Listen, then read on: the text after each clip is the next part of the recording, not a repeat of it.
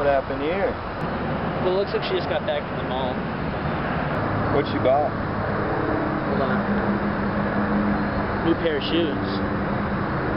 These shoes are $200. It's a lot for someone who's never gonna wear them.